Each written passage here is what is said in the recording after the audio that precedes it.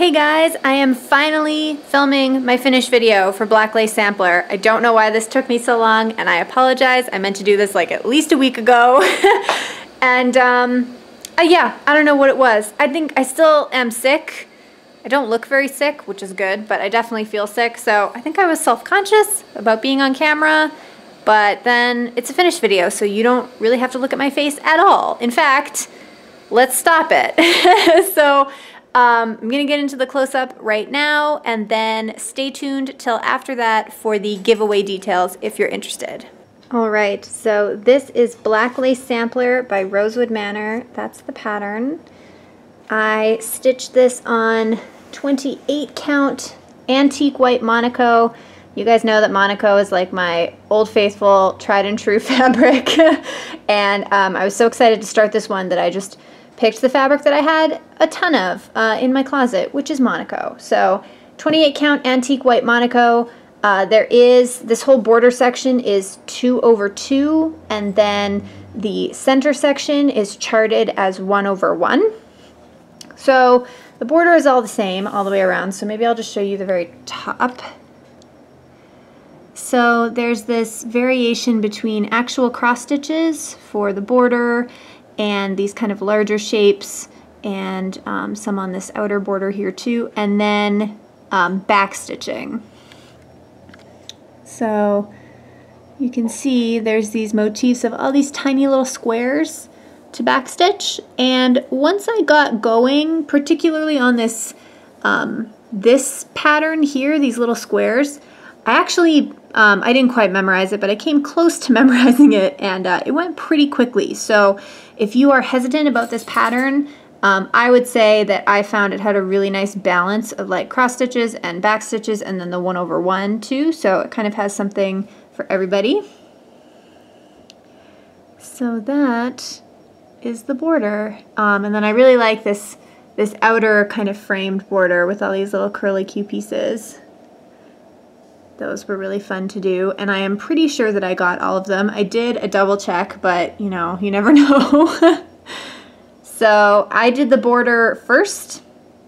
Um, I think I did this inner square first, um, and I counted it a lot because I knew that this one over one section, um, I didn't want to have a mistake in there. I didn't want to get the spacing wrong and then have it be off center. I was really worried about that. so um, I did this kind of inner square first. And then I think I did these shapes um, while I still had kind of two lengths of thread. And then from there on, I just kind of interchanged between doing these um, cross stitches and doing the back stitch, like whatever I felt like I wanted to work on. For a while, this was my laundry project, meaning um, I took it upstairs to the like laundry laundromat in my building um, because it was just it's just it was just black and it was all pretty much the same. I did take the pattern with me, but I didn't really need it that much, so it was perfect for that. And then this intersection. So this is all one over one, as I mentioned, and obviously it's where all the color is. and I just really like it. There's an alphabet at the top and some flowers, a crown, some birds, a bow, and or scissors. They look like scissors to me. I'm sure they're not, but I just can't shake that. Um, a butterfly, and yeah, then uh, the year at the bottom here. I really like this center piece. I really, really like the colors that are in it. When I was pulling and buying colors for this project, I just, they're all really interesting tones, and they're all like fairly bright, and I just really, really like these color combinations. Like all the way up here, these little flowers here, I just think they're so pretty. So there are some definite color families, like for pinks, there'd be like a light pink, a medium pink, and a darker pink. Um, there's the same for blues, the greens, obviously. There's kind of the same for these golds. There's like a tan and a kind of a middle gold and then a lighter gold.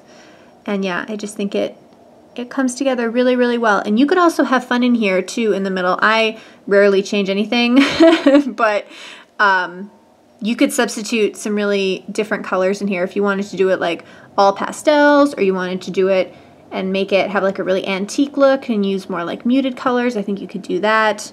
This lends itself really well to that. And also there's a tiny butterfly here that's really cute.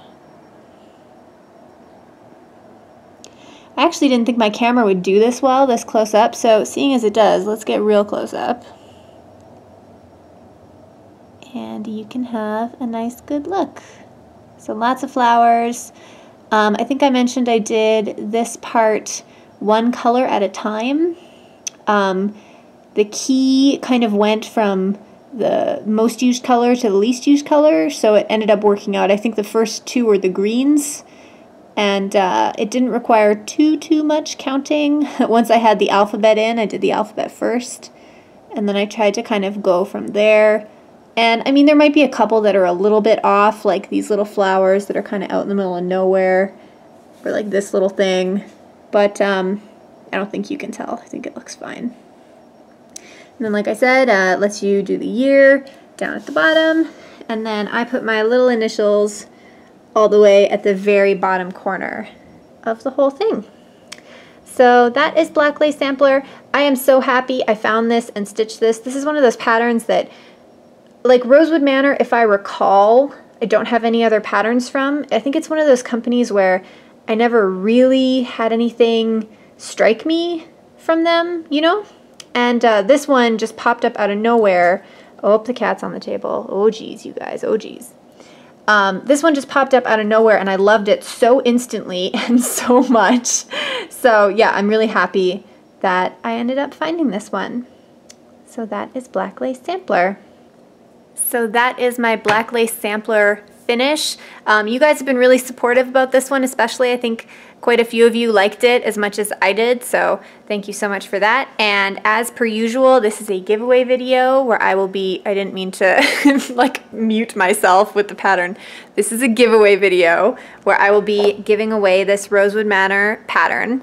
Um, as I said, I think in my last video, um, I did kind of pop the staple one of the staples out of the middle of it just because I folded it back on itself so many times. But other than that, it is in very good shape. It didn't write on it at all. And it also gives you, um, there's like a little bell pull. I don't know what this is. Let me show it to you. Can you see that? There's that. That pattern is in here. And I think it also gives you one more. Oh, it's a bookmark. Black lace bookmark. And then yes, it gives you two other little minis, which I'm going to try to show you. So there is the main pattern, there's the bookmark, and then there's two little minis um, that are kind of pulled from the larger one over one center. There's like a couple of flower pieces are kind of put by themselves with different borders. So really pretty.